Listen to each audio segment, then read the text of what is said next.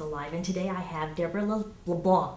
I can't do French. I mean, it's. It, You did great. You okay. did great. That, was- that was all right.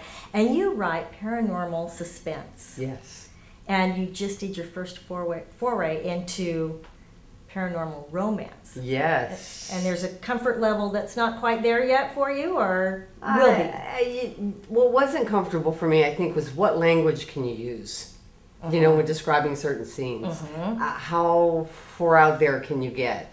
Or how much do you need to pull it back? I had a great time doing it. Um, it was, you know, I, I didn't have, I never have to do research on really the paranormal because I've done it for so long. I had to do research for romance, which was funny. Isn't that funny? So, but it was a lot of fun. I found myself getting really getting caught into it because most of my books are character driven anyway. So, just getting that whole romance element going between, um, you know, the hero and heroine was it was really interesting. Had a great time. And it's always fun to do something new and different, something Oh, you haven't done before. And now you were telling me earlier that you also are a paranormal investigator, Yes. that you used to embalm people, hmm that you have laid in a casket for research purposes. Yes. And I mean, that's I was locked in a casket. locked, in, hmm not just laid in one. No. You had to have the door, the Locked. thing closed. How long were you locked in there? 15 minutes before I realized I was running out of air. It was sealed. It was a sealed casket. Oh dear. Now, why would you do this? I had a I had a secondary character that was locked in a casket. He was trying to escape uh, from something trying to kill him, and he's locked in this casket. And I've worked with around caskets because I've been in funeral service for a number of years. But I began to realize I had no idea how much leg room he had, you know, to kick the lid or to even lift up with his hands. Just how dark is it in there? Uh-huh. What does he smell? And even though he was a secondary character, that really bugged me. It's not like you know you would know if Right. I if I I could pull something out of my imagination, but uh-huh. it was just too critical a turn in the book. I had a friend of mine who owned a funeral home and who knew me well, so and I trusted him. And I said, "Ah, I have a favor to ask. uh, so when I I was locked in there, and you know we had signals. Yeah. Uh, if you hear me beating to. on the side of the casket, open the door, open the lid, open the lid. But um, Now that's going a little far for your craft.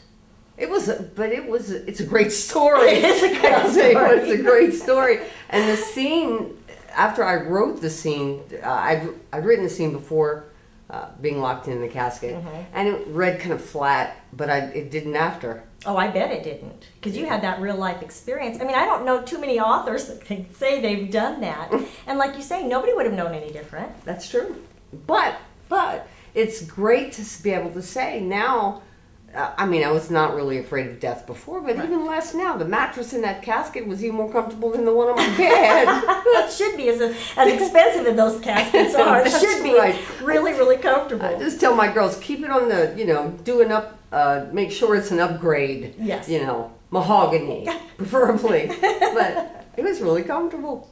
oh, The fact that you can't breathe or see, you know. Well, you don't want to be really locked in there. I mean, for don't try this at home is what, what Oh, no, we're saying. no, no, because uh, you know, funeral. One thing we didn't realize is that funeral directors lock these caskets before they're interred. Mm-hmm. They don't have much experience unlocking them, Oh, and they're unlocked with an Allen wrench. And all I kept hearing once I kept beating on the casket was this click, click, and nothing would open. oh, And I could just see the headlines in the local paper. Author dies, you know, for the sake For of her novel. craft. yeah, yeah. And and when it finally clicked open, and I was, because I, was jamming, and there were a few expletives flying by this time. You know, get me the heck out of here. And I'm pushing up on the lid, and finally pops open. I hear click, and at the same time I pushed, and that sucker flew open. oh, I bet it did. I, what is your problem? I mean, I popped up like the Ghosty would have, you know, just right under. What is your problem? And he said, I was so nervous because you were beating on it that I was. He was fumbling with the Shaking. lock. Yeah. Oh, oh my no. gosh. Oh, th- now that does make for a really great story. And you do the paranormal investigations. Yes. And I was telling you earlier, I love ghost hunters. Mm-hmm. Not so much one of the other ones, but we won't talk about that. So, how do you do? How do you get your phone calls? How do you find out where you're going to go to investigate? I hunt with a lot of different groups around the country. Uh-huh. Um, there is one in Louisiana that I hunt regularly with, Louisiana Paranormal Studies, and they'll usually contact me if they have a real interesting case. Um, there was one recently where an elderly woman was her bed. Now, mm, her she claimed her bed was shaking and levitating, and that someone was pinching her, and you know, attacking her Right. in her sleep. And you know, she was like eighty. You hear these things, and you have to take it all with a grain of salt salt, till you get there, and till you start seeing some really weird things going on. I'm not a demonologist, and there are a lot of paranormal investigators out there that once ghost hunters came out, everybody became a demon hunter. Well, a lot of it is psychological in nature. Uh-huh. This was not. And I know when I need to back the heck up and go get help. Oh, So It was real, that was huh? it. Oh yeah, it was the Oh. real deal. That has to be really scary. Now, you told me you were going to go to. Tell, tell me again, where was it that you're doing next? Eastern State Penitentiary. Okay, I thought you said a, a penitentiary. Yeah, it's. Um, in fact, I think I don't know ghost hunters. I know the other one that we were Uh-huh, talking about. The other side did go there. Dude, Dude, but we won't say thing. Just- dude. Uh, that's Rooster Head for anybody. You know, we're. But he loves that stuff. I know this guy. He loves it. That's how. That's how they get their ratings. Oh, yeah. So uh, I'm anxious to go out there. We're going to try to do it live streaming. The challenge that we have is such it's such a huge facility, Oh, yeah.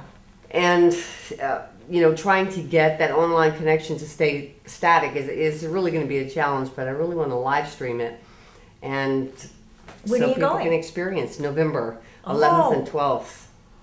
Two days, not one, oh, two. Spending the night? Yes. Oh, you are one daring woman. I just if you're going to live a life, you just as soon give it all you've got. That's how I feel. Well, and with that, we'll say thank you so much for joining us. That's, joining us. It's been a pleasure having you here. Oh, it's been a great fun. Thank you for having me.